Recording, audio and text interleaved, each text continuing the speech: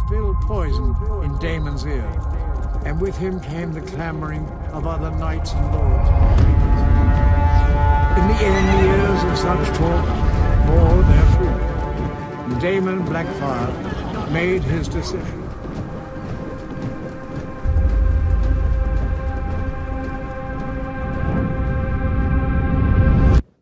كانت وصية الملك أجون تحمل أهلك السموم التي عرفها العالم والتي عنت للمملكة الدم والنار لخمسة أجيال. أهلا وسهلا بكم في قناة وستروس. معكم سالم. أقدم لكم اليوم الجزء الأول من سلسلة ثورات ال Blackfyre. هذه الحلقة برعاية Storytel وهو تطبيق يقدم الآلاف من الكتب الصوتية باللغتين العربية والإنجليزية والبرنامج له عدة مزايا منها تحميل الكتب والاستماع لها أيضا الاستماع بالسرعة المناسبة ويمكنك حفظ المكان الذي توقفت عنده. وبالتأكيد رواية أغنية الجليد والنار هي أحد الخيارات الموجودة. تستطيع الاشتراك مقابل 10 دولار شهريا. ويوجد فترة مجانية مدتها 14 يوم. ونتمنى أن تحوز الحلقة على إعجابكم. إنه مايستر تعلم وتدرب في قلعة البلدة القديمة العظيمة. وهناك طوق عنقه بسلسلة جماعته. بعد وفاة أباه الملك فيسيرس تارجيرين الثاني في عام 172 بعد الفتح. جلس إيغون الرابع من اسمه على العرش الذي كان يطمح إليه كصبي. وأصبح الملك الذي لم يستطع أن يحكم نفسه. شهواته كلها تسيطر عليه تماما. ومع مرور الوقت لم تكن تعرف الحدود. وفساده أدى إلى أعمال لم تضر بالعالم منذ أجيال. سرعان ما ملأ إيغون بلاطة. برجال لم يتم اختيارهم من أجل نبلهم أو إخلاصهم أو حكمتهم. ولكن من أجل قدرتهم على تسليته ومجاملته. وكانت النساء في بلاطه إلى حد كبير يفعلون الشيء نفسه. يتركونه يخمد شهواته على أجسادهم. في كثير من الأحيان كان يأخذ من عائلة النبيلة ويعطيها أخرى. كما فعل عندما أخذ التلال الكبيرة المسماة بالحلمات من آل براكن ومنحها لآل بلاكوود. ومن أجل شهواته أعطى كنوز لا تقدر بثمن.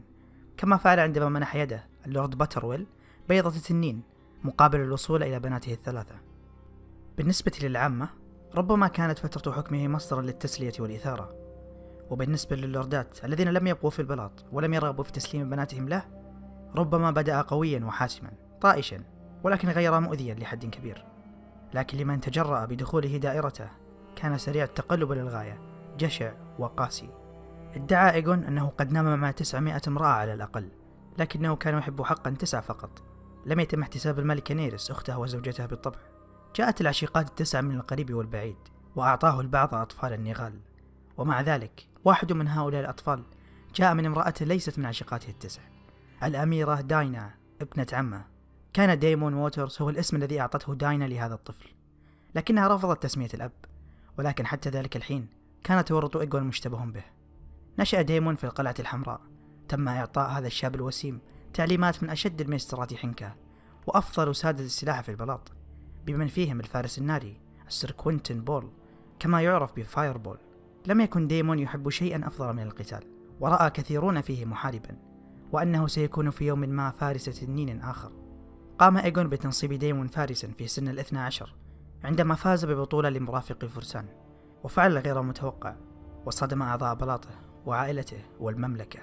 أعطى نغله ديمون ووترز سيف بلاك فاير سيف إيغون الفاتح ومنحه الأراضي والألقاب وأخذ ديمون من البلاك فاير اسما له. كانت الملكة نيرس وهي المرأة الوحيدة التي كان ينام معها إيغون الرابع ولم تكن تسعده. تقية ولطيفة وضعيفة صفات لم تعجب الملك. أثبتت الولادة أيضا ضعف نيرس.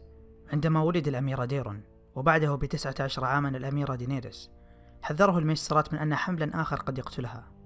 أخبرته نيرس أنها قامت بواجبها تجاهه وطلبت منه أن يعيشوا كأخ وأخت. لكن إيغون استمر في أنهم يفعلون هذا. وأصر على أخته أن تؤدي واجباتها لبقية حياتها. وقد اشتعلت الأمور بينهما أكثر من أمير إيمون شقيقهم الذي كان لا ينفصل عن نيرس عندما كانوا صغارا. كان استياء إيغون من شقيقه الفارس التنين النبيل والمشهور واضحا للجميع. اتهامات الزنا الكاذبة على الملكة نيرس مع إيمون ادعاها السر مورغل هاستويك. لكن في الحقيقة الملك هو من أثارها وإن كان في ذلك الوقت ينفي ذلك. دافع الفارس التنين عن شرف أخته الملكة. وقتل السر مورغيل بمحاكمة بالنزال أصبحت مشاحنات الملك مع أهله تزداد سوءا بعد أن كبر ابنه الشرعي ديرون ليعبر عن آرائه. جاءت اتهامات الملك بأن ديرون هو ابن نغل من إيمون ونيرس في نفس وقت خصامهم حول خطط الملك لشن حرب غير مبررة ضد دورن موطن زوجة ابنه ماريا مارتيل. كانت هذه أيضا المرة الأولى ولكن ليست الأخيرة التي هدد فيها إيغون بتسمية أحد نغاله وريثه بدلا من ديرون. لحسن حظ المملكة أثبتت خطط الملك لغزو دورن في عام 174 فشلا ذريعا على الرغم من أنه قام ببناء أسطول ضخم معتقدا أنه سينجح كما فعل ديرون التنين الشاب إلا أن السفن تحطمت وغرقت بسبب العواصف في طريقها إلى دورن. انتهت فترة حكم هذا الملك الغير جدير في عام 184 بعد الفتح عندما كان الملك إيغون في التاسعة والأربعين من عمره. توفي بموتة شنيعة حيث لم يعد يستطيع رفع نفسه من أريكته. كان آخر فعل له قبل وفاته إظهار وصيته وفيها أهلك السموم التي عرفها العالم شرع جميع أبنائه. بالنسبة لنغاله فذلك يعني لهم الكثير وبالنسبة للمملكة فهذا يعني الدم والنار لخمسة أجيال. غادر الأمير ديرون دراغونستون في غضون أسبوعين بعد أن علم بوفاة أباه وتوج بسرعة من قبل السبتون الأعلى في القلعة الحمراء. اختار أن يتوج بتاج والده. قرار يهدف على الأرجح في إزالة أي شكوك متبقية بشأن شرعيته. ثم صحح ديرون بسرعة العديد من الأشياء التي أخطأها إيغون. فبدأ بطرد جميع أعضاء مجلس الملك الصغير واستبدلهم برجالهم من اختياره. كان يعي واجباته تجاه المملكة وسعى لتحقيق الاستقرار في أعقاب وصية إيغون على فراش الموت. على الرغم من أنه لم يستطع ولن يستطيع إبطال رغبات والده الأخيرة إلا أنه فعل ما يمكنه بأن يبقي النغال العظماء قريبين. وتعامل معهم بشرف وقد دفع المهر الذي وعد إيغون بدفعه لحاكم تايروش وهكذا رتب زواج أخاه غير الشقيق ديمون بلاكفاير من روهان من تايروش كما أراد إيغون. كان السر ديمون في الرابعة عشرة فقط عندما تزوج. وفي يوم زفافهم منح ديمون أرض بالقرب من خليج المياه السوداء مع حق بناء قلعة. قال البعض أن الملك فعل مثل هذه الأشياء لتأكيد حكمه وشرعيته على النغال العظماء. وقال غيرهم لأنه كان لطيفا وعادلا كان زواج الملك من ماريا الدورنية الآن ملكة الممالك السبع سعيدا ومثمرا. وكان واحدا من أول أفعاله الهامة بعد توليه العرش بدأ المفاوضات مع شقيق زوجته الأمير مارون مارتيل لتوحيد دورن تحت حكم التارجيريان سنتان من التفاوض في وقت لاحق. تم التوصل إلى اتفاق وقام الأمير مارون بخطبة شقيقة ديرون دينيريس. وبهذا الزواج ركع مارون وأقسم بالولاء أمام العرش الحديدي. وهكذا توحد العالم من الجدار إلى بحر الصيف كما كان إيغون الفاتح يحلم ذات مرة. وفعل ذلك من دون التكلفة الفظيعة لحياة سميه التي دفعها ديرون الأول من اسمه أو كما يعرف بالتنين الشاب. ومع ذلك فقد فاز الأمير مارون ببعض الحقوق في الاتفاق. ومنح لوردات دورن حقوق كبيرة لم تحظى بها العوائل العظيمة الأخرى. أولا الحق في الاحتفاظ بلقبهم الملكي الأمير. وأيضا الاستقلالية بقوانينهم الخاصة والحق في جمع الضرائب المستحقة على العرش الحديدي وغيرها الكثير. الاستياء من هذه الحقوق كان أحد الشرارات الأولى التي أشعلت ثورة بلاك فاير. كما كان الاعتقاد بأن دورن كان لها تأثير كبير على الملك لأن ديرون الثاني جلب العديد من الدورنيين إلى بلاطه وبعضهم حصل على مناصب تذكر. استقر حكم ديرون بسرعة في المملكة وسرعان ما أصبح يطلق عليه اسم ديرون الخير من قبل العامة والنبلاء على حد سواء. كان ينظر إليه على أنه عادل وحسن النية حتى لو كان البعض يشك في تأثير زوجته الدرنية عليه. على الرغم من أنه لم يكن محاربا اثنان من أبنائه الأربعة كان كل ما يمكن أن يتمناه في الفارس أو اللورد أو الوريث. الأكبر الأمير بيلور فاز باسم بريكسبير أو كاسر الرمح في سن السابع عشر بعد أن فاز في دورة زفاف الأميرة دينيريس وهزم ديمون بلاكفاير في المبارزة الأخيرة. وابنه الأصغر الأمير مايكر أظهر براعة مماثلة ومع ذلك نظر الكثير من الرجال إلى شعر بيلور الداكن وعينيه وتمتموا بأنه مارتيل أكثر من أنه تارجيريان على الرغم من أنه أثبت قدرته على كسب الاحترام بكل سهولة. بدأ فرسان ولوردات تخوم دورن بعدم الثقة في ديرون وبيلر أيضا وبدأوا أكثر فأكثر بالنظر إلى الأيام الخوالي عندما كان الدورنيون عدوا يقاتل. وبعد ذلك نظروا إلى ديمون بلاكفاير الذي نما طويلا وقويا نصف إله بين البشر وبسيف الفاتح بين يديه. وتساءلوا. زرعت بذور الثورة لكن الأمر استغرق سنوات حتى تثمر. لم تكن هناك إهانة أخيرة ولا خطأ كبير دفع ديمون بلاكفاير للتمرد. لكن مناصري ديمون ادعوا أنه كان يحب أخته غير الشقيقة الأميرة دينيريس. ومن المفترض أن الأميرة أحبت الأمير النغل بدورها إذا كان يمكن تصديق المغنين ولكن لا إيجون الرابع ولا ديرون الثاني كانوا على استعداد للسماح بهذه المشاعر أن تحكم مسائل المملكة. إذا كان كل شيء حقا لحب دينيريس كيف مرت ثماني سنوات قبل أن تحدث الثورة؟ خاصة أن روهان زوجته قد أعطته بالفعل ابنين في نفس عام زفافهم التوأم إيجون وإيمون وستة أبناء وبنتين على الأقل خلال الأعوام القادمة ودينيريس أيضا أنجبت من الأمير مارون عدة ورثة في الحقيقة نمت بذور الثورة بسبب إيجون الغير جدير لأنه كان يكره الدورنيين ويحارب ضدهم وأولئك الذين أرادوا عودة تلك الأيام لن يكونوا سعداء أبدا بهذا الملك المسالم. سعى العديد من أشهر المحاربين إلى ديمون. بمعارضتهم السلام مع دورن. في البداية لم يكن ديمون بلاك فاير يستمع لمثل هذا الكلام من أجل تفاخره. بعد كل ذلك مرت سنوات بين أول الرجال الذين همسوا في أذنه والتمرد الفعلي. لكن من الذي جعل ديمون يطالب بالعرش؟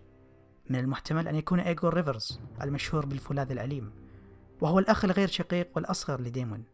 بدأ إيغور في الضغط عليه بالمطالبة بالعرش وبشكل خاص بعد أن وافق ديمون على تزويج ابنته الكبرى كالا إليه. من الأسباب أيضا هي عداوة إيغور تجاه أخيه غير الشقيق بريندن ريفرز والمشهور بالغراب الدامي الذي حلت والدته ميليسا بلاكوود محل والدة إيغور باعتبارها عشيقة والده المفضلة. وزادت عداوتهم بعد أن اختارت شيرا سيستار أختهم غير الشقيقة والجميلة بريندن عليه. همس إيغور السموم في أذن ديمون. ومعه جاء صخب الفرسان واللوردات الآخرين. في النهاية نمت بذور سنوات من هذا الكلام ثمارها واتخذ ديمون بلاك فاير قراره. ومع ذلك كان قرارا اتخذه بتسرع لأن الخبر وصل بسرعة للملك ديرون بأن البلاك فاير يريد أن يعلن نفسه ملكا خلال شهر واحد. وتمت الإشارة إلى أن بريندن ريفرز كان له دور في وصول الخبر إلى الملك ديرون. تم إرسال الحرس الملكي لإلقاء القبض عليه لكن تم إعلام ديمون مسبقا. وبمساعدة الفارس الشهير السير كوينتن بول استطاع الهروب من القلعة الحمراء بأمان. استخدم حلفاء البلاك فاير محاولة الأسر هذه كسبب للحرب. مدعين أن تصرف ديرون كان بدافع خوف لا أساس له. آخرون لا يزالوا يسمونه ديرون غير الشرعي. تكرارا للاتهامات التي قالها عنه إيجون الغير جدير في السنوات الأخيرة من فترة حكمه. أنه لم ينجبه ولكنه كان نتيجة علاقة محرمة مع أخاه وأخته. عكس ديمون ألوان شعار التارجيريان. لإظهار تنين أسود على حقل أحمر. ما منحه لقب التنين الأسود؟ أعلن الثوار نغلة داينا. ديمون بلاكفاير الأول من اسمه. الابن الأكبر والشرعي للملك إيجون الرابع. وبعض الثوار مثل السريوستس أوزغري والذي تحدثنا عنه بمقطع الليدي روهان وبر أعلن أخاه غير الشقيق ديرون النغل. على مدار الحرب خاضت معارك بين الثوار والحلفاء في أماكن كثيرة. الوادي الأراضي الغربية وأراضي النهر والمرعى. هاجم السر كوينتن بول الأراضي الغربية مما أدى إلى مقتل اللورد ليفورد على أبواب لانسبورت بعدها هزم اللورد ديمون لانستر. كان السر كوينتن قائدا رئيسيا لجيش بلاك فاير لكنه قتل من قبل رامي من العامة مساء معركة حقل العشب الأحمر المعركة الأخيرة في الثورة. في هذه الأثناء كان اللورد براكن يمر عبر البحر الضيق لتأجير المرتزقة لدعوى ديمون بلاك فاير. لكن العواصف أخرت عودته وعودة النشابين الميريين الذين استأجرهم. الأمير بيلور كان قد ذهب أيضا جنوبا على آمال حشد الجيوش من دورن وأراضي العاصفة ليساند آل تارجيريان لم يتمكن جيش اللورد ليو تايريل المساند للتارجيريان من التجمع بسرعة كافية ليصل في الوقت المناسب للمعركة. كانت المعركة في أواخر عام 196 بعد الفتح وتعداد الجيشين فيها غير معروف ولا مكانها. لكن يقال أن التعداد كان متقارب وغالبا حدثت المعركة بالقرب من كينغز لاندنج قلب الطليعة في كلا الجيشين تكون من الخيالة المدرعين والخلف تكون من المشاة. شاركت عائلة كوستاين بالحرب حيث قاد اللورد كوستاين الميسرة لجيش البلاك فاير قاد ديمون بلاك فاير القلب مع ابنيه وقاد أخاه غير الشقيق الفولاذ الأليم الميمنة.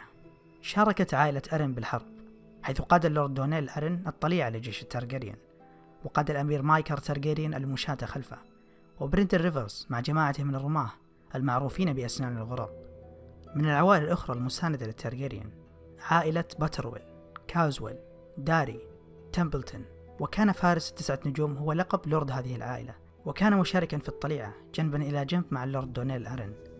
أيضا عائلة هيفورد هايتاور لانستر ليفورد لوثستون مارتيل أوكهارت بنروز تاربك تالي تايريل ويبر وينوود.